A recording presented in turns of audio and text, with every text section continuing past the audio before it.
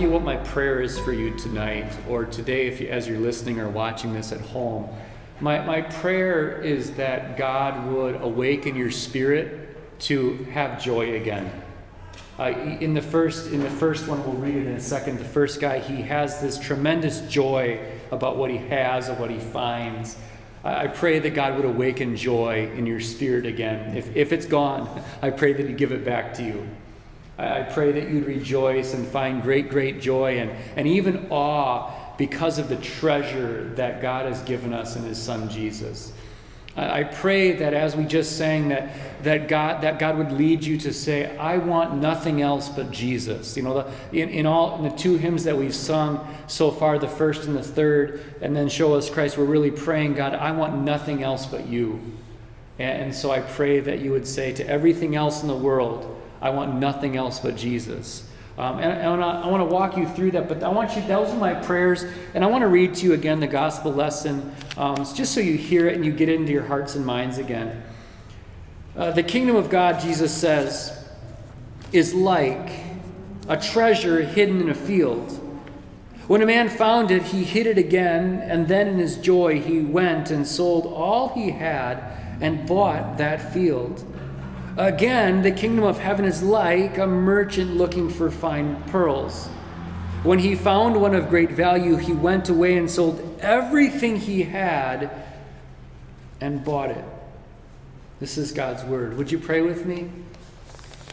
Oh Lord God, may the words of my mouth and the meditation of our hearts be pleasing in your sight. God, you are our rock and our redeemer. You have given us a great treasure in your Son, Jesus. You have given us a rich treasure in the forgiveness of our sins. You have stored up for us an eternal treasure, an inheritance that can never perish, spoil, or fade, and it's kept in heaven for us. So, Lord God, help us to store up for ourselves treasures in heaven, where moth and rust do not destroy and where thieves do not break in and steal. Set our hearts there today as we seek you and your word and, and seek this treasure that you have given us in your Son, Jesus. We pray this in Jesus' name. Amen. I'm going to tell you some things that I think you already know. Mount Lebanon is a really special place. But I'm not talking about the building, though this building that we have is pretty cool. When you stop to take in the stained glass windows that are on either side, when you step back and look at the arch- architecture and the design uh, of this church that God has given us here. We certainly have a gift from our God in this place, but when I say that Mount Lebanon is a special place, I'm not talking about the building. And, and Mount Lebanon is a special place because of the people. This church is full of many, many dear, dear people, some whom we haven't seen back in church yet, some whom haven't been back to church yet.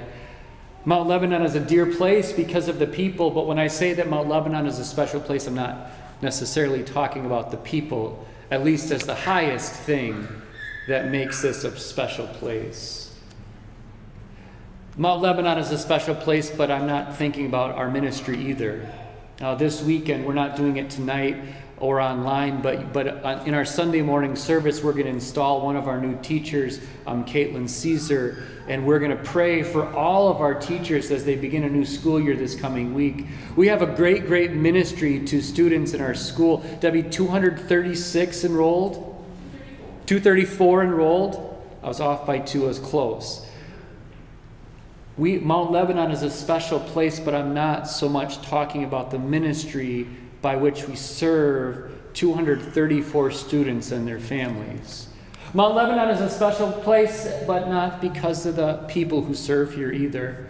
Um, in a couple weeks, Mike Schuster, I don't know if you all know that yet, but Mike Schuster is going to retire as a staff minister. He's, minister. he's not leaving Mount Lebanon, uh, but he's going to pour into his wife and, and a life with his, his wife, his kids, his grandkids. He's going to enter retirement and still continue to serve here as, as one of us.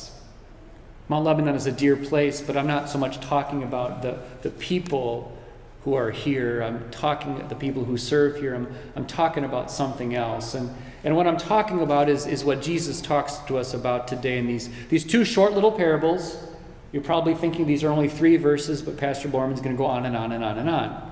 That's Ruth is nodding her head. There are two things I want to share with you today. I want to talk to you about the treasure that we have. And I want to talk to you about the response that we have to the treasure. So, first, just some questions. What did this man find? If you're taking notes, what did this man find? I think the answer to that question, this will be the shortest part of the sermon, I promise. The, the first guy, he goes onto the field and he finds a treasure in a field. I don't know what you imagine. I always kind of imagine a, a pirate's treasure, a, pirate's chest with all kinds of jewels and treasures in it. That's what I imagine when I, when I, when I, when I hear Jesus talking about a treasure in a field. Maybe, maybe you think of an X marks the spot. I don't know what it was. But I'll tell you this, we'll get more into this later, but this man, when he found this treasure, he had to have the field and the treasure that was in the field. So, what did the man find? He found a treasure that was worth everything that he had in his life. We at least know a little bit about its value. And then Jesus told this other parable about a man, and this guy was a pearl expert, a gem expert. He, he knew his way around pearls. And, and, and when he found, he was, he was shopping for pearls, it seems like. And when he found a pearl of great price, a pearl that had tremendous value because of its size and its, I don't know if pearls have clarity, but other gems do, clarity, whatever. Just flawless in every way, he, he had to have the pearl. So what did, what did they find? Well, they found this treasure, this pearl of great price. Today, I want you to ask a different question that's related what is the treasure that we have? What is the treasure that we have? And I went through a couple of those things as a church, like ministry and buildings and people and opportunities and all those things. But what is the treasure that we have? And the simple, simple answer is what, what is the treasure that we have? It's, it's salvation. The, the true treasure of the church the true treasure of Mount Lebanon is not the building or the ministers or the servants or the people or the mission field. The true treasure of the church is the gospel. It's this, this true teaching that God has given us in, in His Word about a Savior who came from heaven and suffered and died and rose again, about a Savior who ascended into heaven and one day He's coming back and he's going to take all God's people to be with him. Um, if you're online and you haven't heard the message of Christianity yet, that's the very, very short story about salvation. But I want to say a little bit more, as I always do, because I want you to appreciate in a fuller way the, the salvation that we have. Because this salvation that our God has given to us there, I'm going to give you three words. The first word is this it's free. The salvation that we have from our God is free. At no point in your life is God going to say you need to believe in Jesus and do this. Some people are going to say you need to believe in Jesus and check these boxes so that you can go to heaven. Some people are going to say you need to believe in Jesus and behave a certain way to get heaven. Some people are going to say that you need to do Jesus plus something to get heaven, but that's just not true. Because the truth of the matter is, our salvation is absolutely free. It has no cost to us. And I think that's important for us to say today as we look at these parables, because I don't want you to get the wrong idea. When these guys went out and sold everything they had to get the field or the pearl, we, it would be easy to make the connection and say, well, now we have to sell everything we have so that we can get Jesus, or we need to do the right thing so that we can get Jesus or heaven or the treasure, but that's not the way it is. Our salvation is Jesus plus nothing equals everything. And the everything is forgiveness, eternity, treasures in heaven a present God, a powerful God, a wise God. And it's all for free. Look at look again. You guys know Ephesians 2, 8 and 9. It is buy grace you have been saved through faith, and it's not from yourselves, it is the gift of God, not by works so that no one can boast. Your this treasure that God has for you in the field, he says, Here, take it, it's yours. for free. No cost. Come by without money.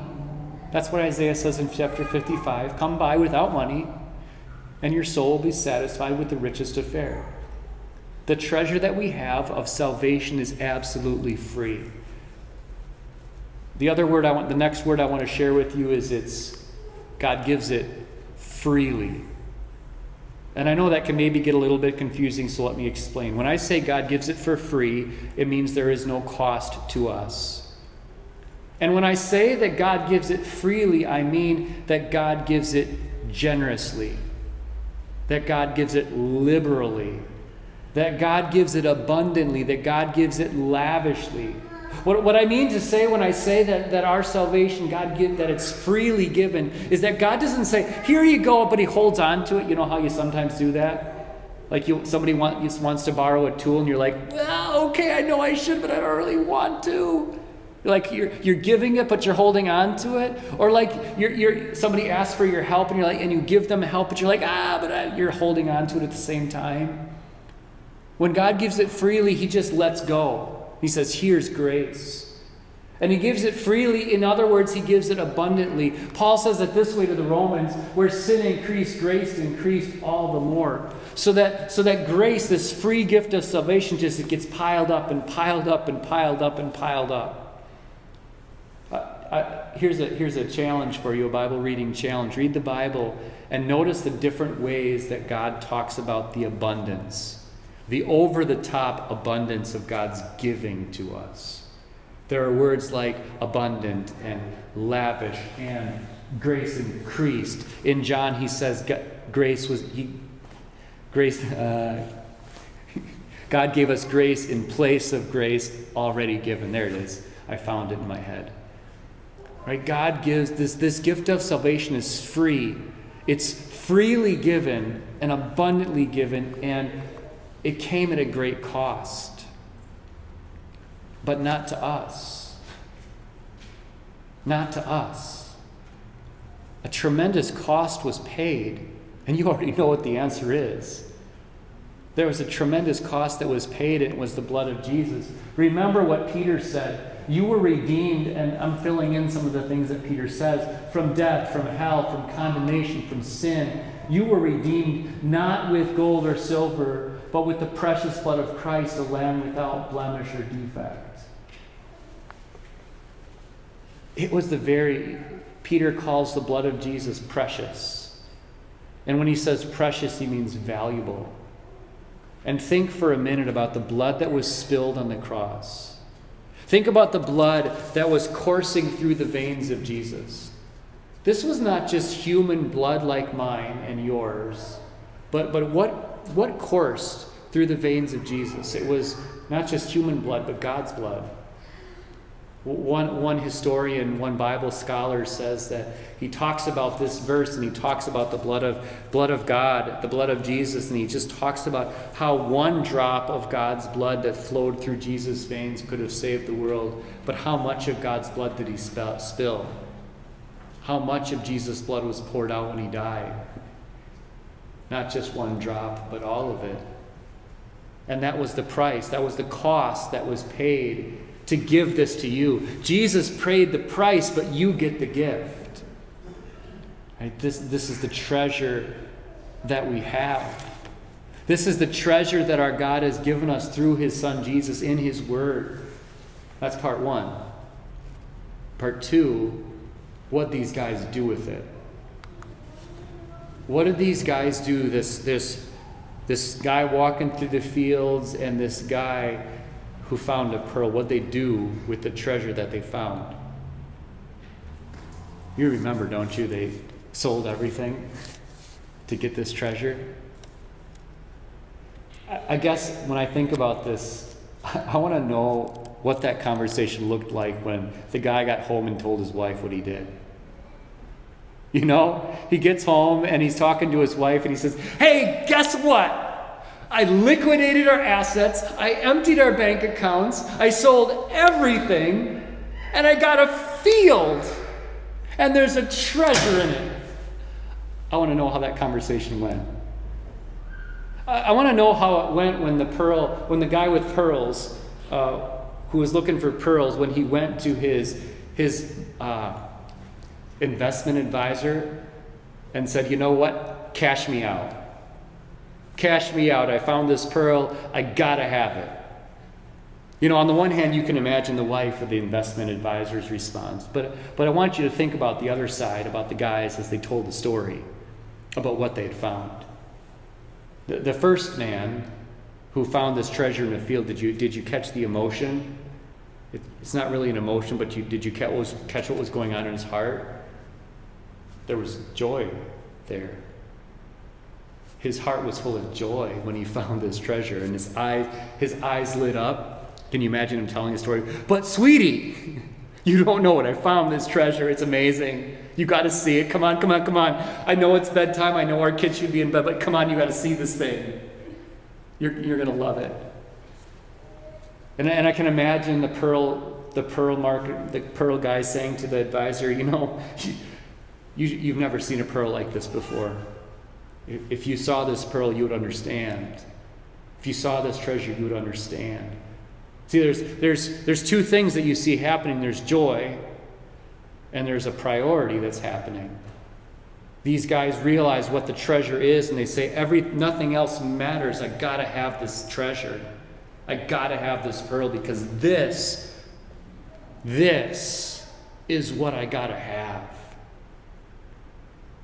So I want to ask you this question What do we do? We have this treasure. What does Jesus call us to do with the treasure?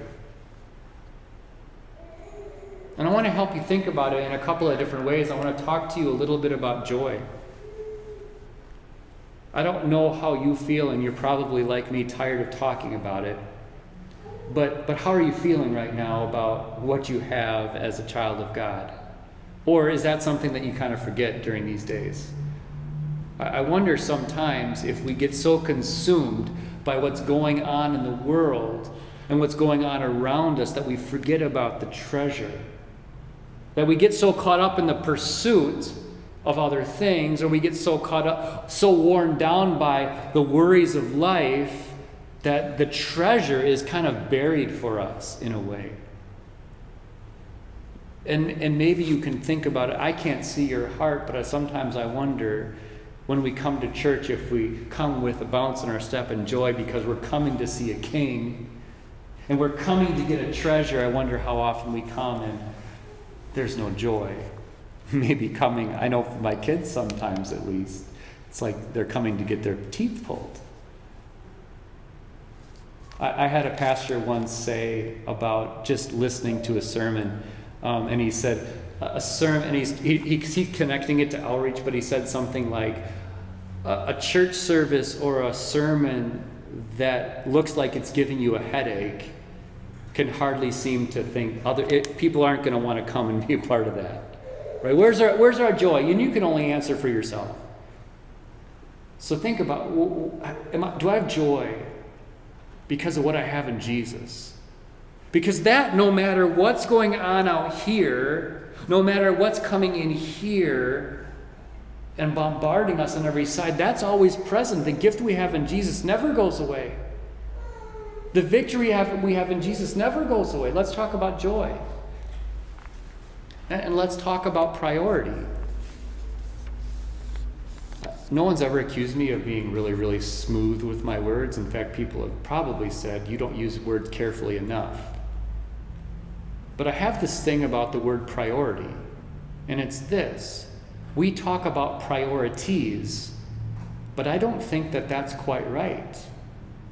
Because you can, you can have many, many important things in your life, but you can only have truly one priority.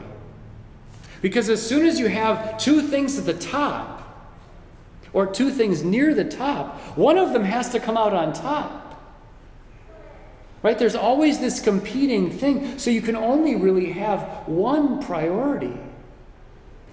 And when you think about this, these parables and the priority for chasing and pursuing the gospel, do, do you see what temptations can come into our life, especially to those of us who have been in church for a long time? You know, if, if you're new to Christianity, you're like you're the, the way the Bible describes it sometimes is like I'm hot for Jesus. My heart is burning for Jesus. But what happens over time? There are other priorities that, that rise up in our hearts and our minds, and we start chasing things in the world. We start chasing and pursuing other things. You know, as a church, and I know these are COVID times, but something for you to think about and for us as a church to think about as we talk about priorities is we're a church of 375 souls, and on our best days before COVID, we averaged about 130. We're a church that says we treasure God's word, but are we? And, and we say that we're a church who studies the Bible, but on a Sunday morning, this is pre COVID, we're on our best Sunday, there were 30 people of the 130 who stayed for Bible study. Only you can speak to what's going on here as you think about priorities, but is that not a question as we're talking about this treasure that we have? It's a question I think that's worth asking. Because these guys, they forsook everything else. Or to bring in another story that, that happened, this is not a story Jesus told, but a thing that happened during Jesus' life. What did Jesus tell Mary? One thing is needful. I want to talk to you about enjoyment. And I guess I want to specifically talk to you as people who serve the church and who serve in the church, especially if you serve full time in the gospel ministry. We use this treasure as our tool. It's, it's my job, right? It's my job on a Saturday or a Sunday or a Monday or a Tuesday or every day of the week. It's my job to tell people about Jesus. It's my job to teach the Bible. And, and for some of you, that's your job. Right? It's my job to teach kids with the intent of making them, helping them to know Jesus better. And as a church, we have a ministry that's devoted to teaching Jesus. We use the treasure of the gospel as our tool. But what I want to I want to give you a special encouragement today. Don't just use the gospel as a tool for your trade. Enjoy the gospel as a gift from your God. Because I think one of the things, and I can speak for myself in this, one of the things that happens to us in ministry is that we get so busy using the gospel that we don't take the time to enjoy the gospel. That we're really, really good at applying the balm of Gilead to other people, but we're not so good at applying it to our own selves. Doctor, heal yourself, right? So enjoy the gospel because what we have from our God is a treasure that saves us that sets us free from sin and shame and guilt and hell. What I'm calling you to do and be is to become a pearl expert. There, there's a difference, I think, between the two parables. In the first parable, the guy, the guy seems to be just bumbling along through a field, and all of a sudden he, stum, stums, he stubs his toe on a treasure. Oh, a treasure! Maybe not quite that way. The other guy, he is a pearl connoisseur. Like he knows pearls. He's studied them. He's researched them. He's dug into them. He knows what, what the difference is between a good pearl and a cheap pearl. I'm calling you today to become a pearl expert. Not because you're going to use it, but because you want to enjoy it.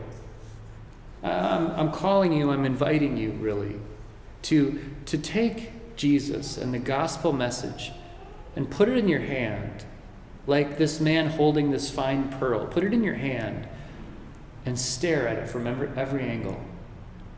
Stare at it and, and ponder the, that word, little word forgiveness, whereby God says to you, everything that you've ever done is forgiven and gone.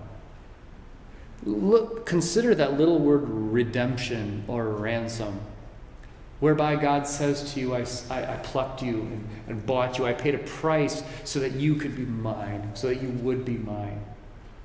As you come to the Lord's table tonight, ponder and hold in your hand that bread. And, and here's a little visual for you. This is totally a human thing, but it helps me think about what's happening. When you receive Jesus' body, make a, make a, make a little chair. And you're like, what? Because who is Jesus and where does he sit? He's a king. And he sits on a throne. And when you hold that little piece of bread in your hand, you're also holding your king in your hand. Your king who came from heaven to wash your sins away, to become your king, to redeem you and ransom you from every sin. And, and when you hold in your hand and you take that little cup of wine, that's your Savior's blood. That's the blood of your King who died for you. And, and that's an astounding thing. Because what do kings normally do? At least kings these days, at least the kings I know of. They send their soldiers to do their work. But what did our king do? Our king did the work. Our king came down from his throne and he died. And now he's back in his throne and he's ruling and reigning at God's right hand. So, as you come tonight, as you go home and you hear and meditate and think about God's word, just hold that treasure in your gospel. Become a pearl expert and get to know this good news about your Savior Jesus. Turn it over in your hand, turn it over in your mouth, and, and, enjoy it.